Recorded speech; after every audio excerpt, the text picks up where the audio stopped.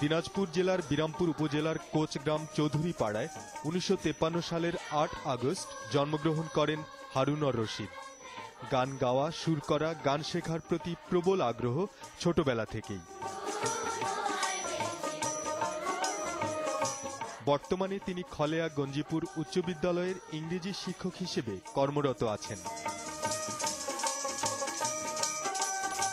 পাশাপাশি রংপুর শিল্পকলা একাডেমিতে গানের শিক্ষক হিসেবেও কাজ করছেন।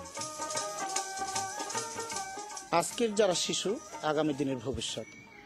আর এই শিশুদেরকে সুন্দরভাবে মন মানসিকতায় তৈরি করার জন্য সংস্কৃতি চর্চার সবচেয়ে আবশ্যক। এই উদ্দেশ্যে আমি ভাবছিলাম যে আমি ছোট্ট ছোট্ট সোনামণিদের নিয়ে, অর্থাৎ যারা অসহায় পরিবারে, যারা আজকে দিন দরিদ্র পরিবারে, রিক্সা চালক, এই সমস্ত ছেলে মেয়েদের যারা সুযোগ থেকে বঞ্চিত, তাদেরকে নিয়ে আমার এই উদ্দেশ্য যে তাদেরকে আমি গান শেখাবো, প্রতিষ্ঠিত করব। আমার অসংখ্য ছাত্র এ পর্যন্ত প্রায় তিনশোরও বেশি পঞ্চম শ্রেণীতে এবং অষ্টম শ্রেণীতে একশো জনের মতন আর কি বৃত্তি পেয়েছে। আর তারা আজকে শুধু ওই বৃত্তি পেয়ে ক্ষান্ত হয়নি, তারা এসএসসিতে ভালো রেজাল্ট করেছে, তো ইন্টারমিডিয়েটে ভালো রেজাল্ট করেছে এবং তারা জীবনের আজকে একটা লক্ষ্যপথ খুঁজে পেয়েছে। এই শিক্ষার্থীদের মধ্যে চারজন শিক্ষার্থী বিদেশে যাওয়ার সুযোগ পেয়েছে। এবং সেখানে তারা আমাদের এই লোকসঙ্গীত অর্থাৎ ভাওয়াইয়া পল্লীগীতি জারি গান পরিবেশন করে অনেক প্রশংসিত হয়েছে।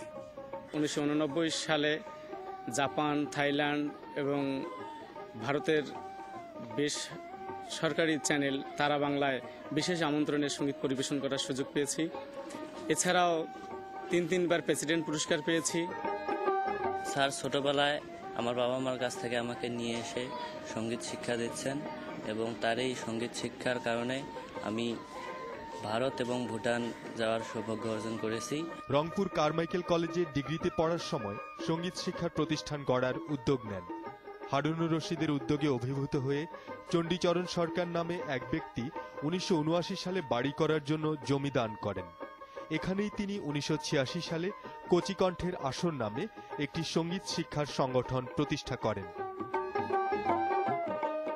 তার সহকর্মী ও শুভানুধ্যায়ীরাও এজন্য রংপুরবাসী হিসেবে গর্ব অনুভব করেন।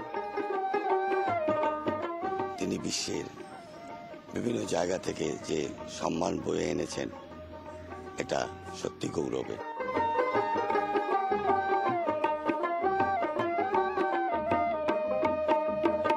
পরিবারের অন্য সদস্যরাও তার মহৎ সেবাকর্মে জড়িত হওয়ায় আনন্দিত ও গর্বিত। সে আমাকে সংসার জীবনে ঠিকভাবে সময় দিতে পারে নাই। এই গান বাজনার পিছনে সাংস্কৃতিক অনুষ্ঠান নিয়ে সবসময় ব্যস্ততার মধ্যে দিয়ে দিন কাটাইছে। তারপরে সে যে এখন একটা মনে মনস হিসাবে মনোনীত হলো এই অনুষ্ঠানে, তাতে আমি মনের দিক থেকে আনন্দিত।